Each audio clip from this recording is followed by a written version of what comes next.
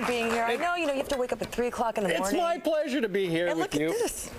Hey, look at that, we match. Oh, Indeed. How cute. Mike Jerrick is not boycotting the program. He is on vacation this week, but it is nonetheless today, Primero de Mayo. Yes, we've got uh, Team Fox coverage of a day without immigrants. Immigrants boycotting the United States economy by staying away from their jobs, staying away from schools, not going out and buying. Fox's William La Jeunesse is live in Los Angeles, where the biggest demonstration is taking place today. William?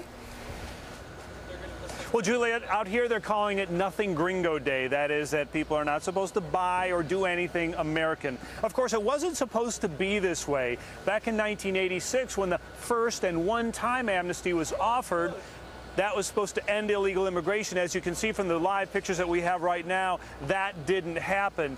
In essence, you've got 20 years of government neglect and, of course, contradictory laws. On one hand, we discourage illegals from coming here. But once they get here, we encourage them to stay. For instance, look at the border. We're spending billions there on manpower and technology to stop people. Nevertheless, police, once an illegal get here, can't even ask them their legal status. Employers hire them without penalty. Day labor centers are sometimes government mandated here in California, and the IRS will give someone a tax ID number even if they are here illegally. That is why organizers say government owes them legalization, and 70% of Americans support some type of legalization for those already here.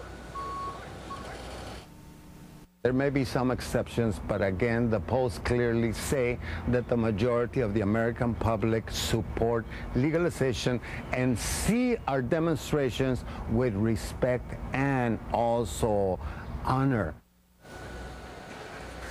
Many are taking the day off. Some businesses had to close because their workforce is so largely illegal they had no choice. Others are closing in sympathy with them. However, the big concern right now is the ports of LA and Long Beach. Independent truckers are threatening to close those ports. That would cause a huge problem and economically paralyze much of Southern California. To put it very bluntly, if you snapped your fingers and all the undocumenteds disappeared, Los Angeles economy would grind to a halt in the proverbial New York minute.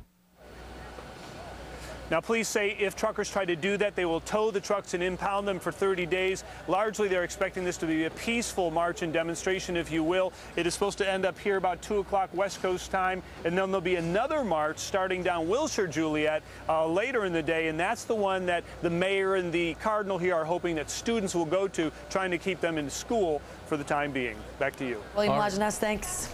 Yep. Meanwhile, Houston.